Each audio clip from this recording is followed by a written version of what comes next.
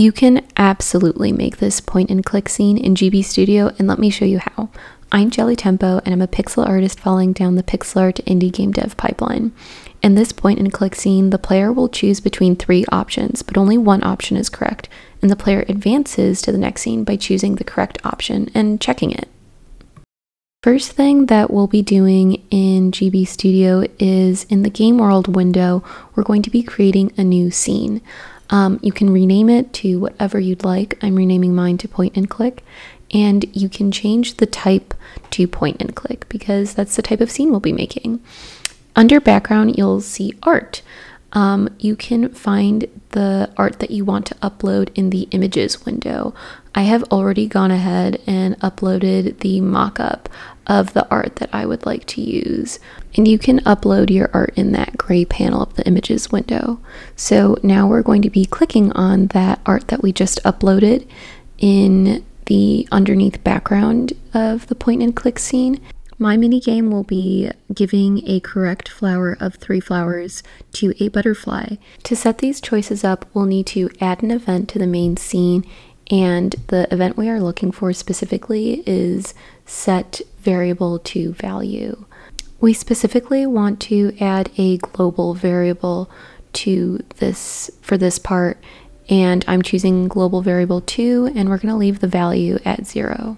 Now we'll be creating four triggers in the main scene. Three will be for the choices. For me, those are the flowers. Um, and the last will be the checker, which is the butterfly for me. Um, and you can add triggers by adding um, or using the plus button and going to trigger or selecting trigger. We'll want to do this next step with our correct choice.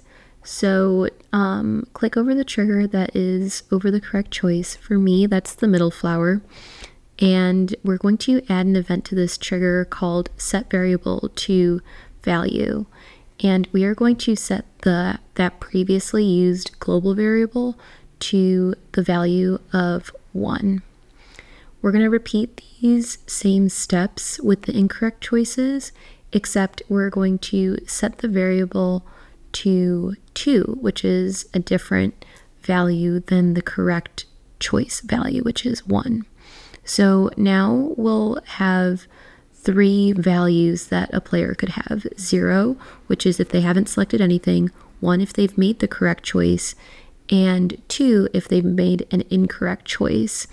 And with all of these pieces, we are going to, in a piecemeal way, set up a very large if statement. And I'm going to be doing this in a kind of janky order. The only thing that's important is just how the if statement looks at the end, though.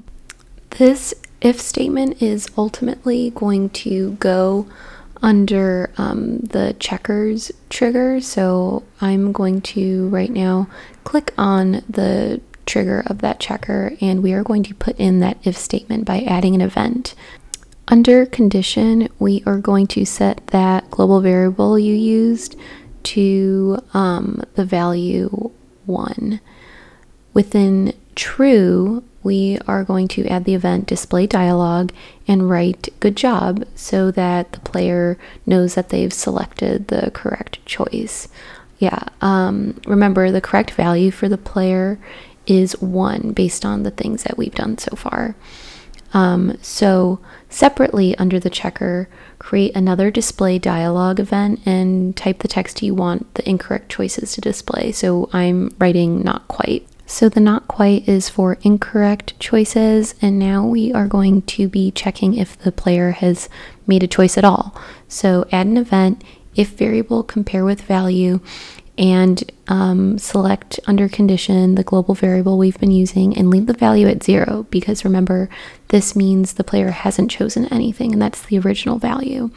Um, under true we're going to display dialog and I'm going to prompt the player to choose an option. Now we need to put it all together and you'll watch me struggle just a tad. Um, we want to put the not quite incorrect choice dialog event within the else part of the if statement under the um, correct choice. And again, we're going to be putting the display not quite, so that's if um, the player has chosen something incorrect within the else part of the if statement. Um, so that'll go underneath the dialogue display good job or whatever you chose. Now, once that's all the way done, we are going to put that part, the good job, right? So that's an if statement if the player has chosen anything at all.